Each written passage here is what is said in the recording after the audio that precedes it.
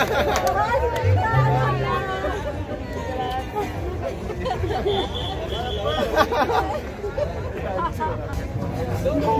va a bailar después? Pues, sí.